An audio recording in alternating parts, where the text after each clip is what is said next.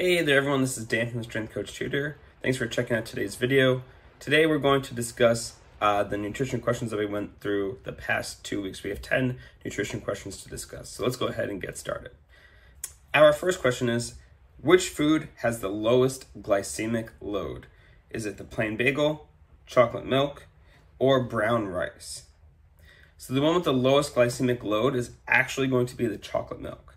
So despite the chocolate milk probably being higher in sugar, the chocolate milk is going to have a lot of protein and it's going to have a little bit of fat in it as well.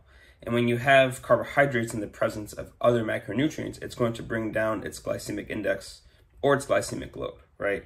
The plain bagel is going to be comprised of primarily simple sugars and very heavy in carbs, little presence of fiber, any polysaccharides that's going to be relatively higher in the glycemic load. And same with brown rice. Yes, brown rice is going to have a little bit more fiber to it, but still primarily just carbohydrates, right? So that's going to have a higher glycemic load as well. On to question number two.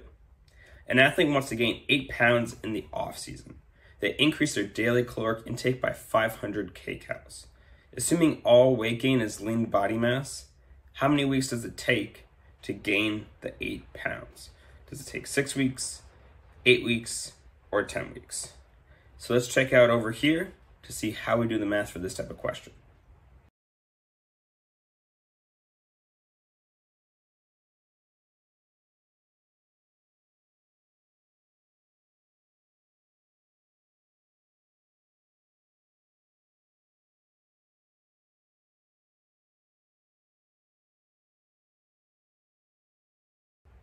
Question number three.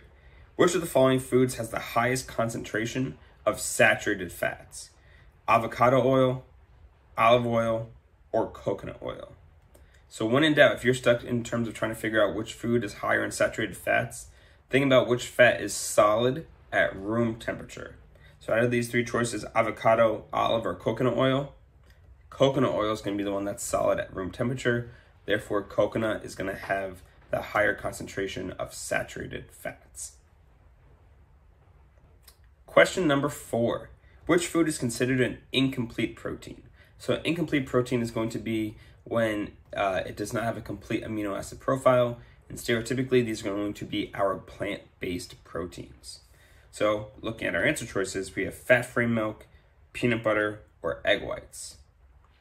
To me, choice B, peanut butter, right? That's a plant based protein. That's going to have an incomplete uh, amino acid profile, so therefore it's going to be an incomplete protein.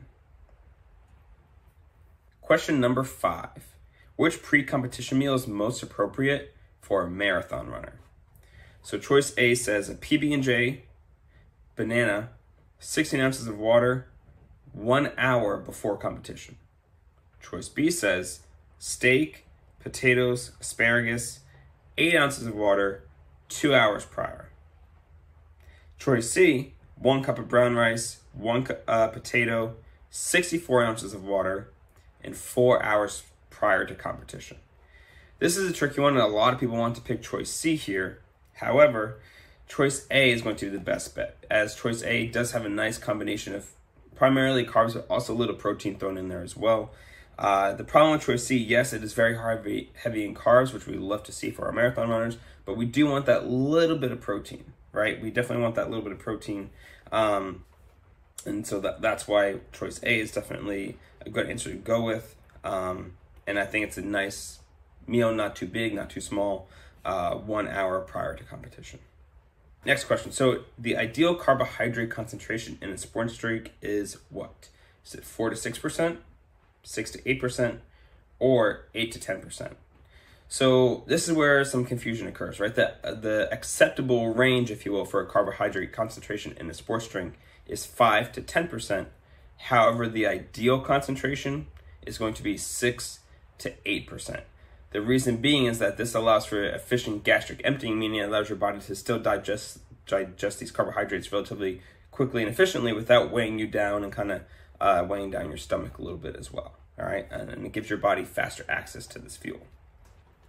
All right, next question. So, which food has the highest concentration of fiber per serving? Is it avocado, white rice, or chicken? So, despite white rice being a carbohydrate, it doesn't have a whole lot of fiber, right? However, avocado does have a lot of fiber. Yes, it is known for being uh, a good source of healthy fats, but avocado also has a very nice amount of fiber in it as well. And then, of course, chicken, going to be primarily protein, not going to get any fiber from that source. Question Which food has more fiber per serving? Is it spinach, broccoli, or is it equal? They actually have equal amounts of fiber, spinach and broccoli. So they, this would be choice C here. Uh, spinach and broccoli having equal amounts of fiber.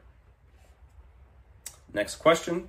Compared to glycemic index, glycemic load differs in that it takes into account what? Choice A says serving size. Choice B says type of carbohydrates, so meaning mono, di, or polysaccharide. Or choice C, the impact of food has on blood glucose levels. Correct answer choice here is going to be A, serving size. So if we were to look at glycemic index, it doesn't matter what food you're eating. Um, it would just, it gives you a number in terms of this is the effect that food is going to have on your blood glucose. You could have one serving of it, you could have 10, doesn't matter.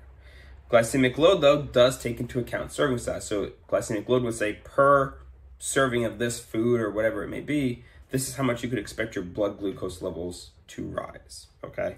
Um, of course, looking at choice C here, both of them do that, right? The impact of food has on blood glucose levels, glycemic index, and glycemic load look at that, right? It's just the context in which it's looking at it. Um, and then the type of carbohydrate, that doesn't matter in terms of what, you know, glycemic index and glycemic load aren't necessarily measuring that. Um, however, though, typically, uh, foods that are higher in mono and disaccharides are going to have a higher glycemic index and higher glycemic load, whereas foods with uh, more polysaccharides and typically more fiber are going to have a lower glycemic index and lower glycemic load. Last question here. Which amino acid is known to be most effective for eliciting muscle protein synthesis post workout? Is it A, valine, B, tyrosine, or C, leucine? Correct answer here is going to be C, leucine. Leucine is one of the three branched chain amino acids, the other two being valine and isoleucine. However, leucine has been uh, shown to be the most effective amino acid for muscle or stimulating muscle protein synthesis, especially post training okay? I hope you found that review of those 10 nutrition questions useful. To be honest, those are very straightforward, kind of bare bone questions. Those should be relatively simple and straightforward. If you're looking for more of a challenge, I highly encourage you to, to go to thestrengthcoachtutor.com and join our online classroom where we can give you a lot of uh, more in-depth and more intense nutrition questions and questions for the whole exam too to help better prepare you and give you the best resources possible. And hurry now because we don't have that much room left for our classes this fall. Thank you guys for watching and I'll see you guys again soon.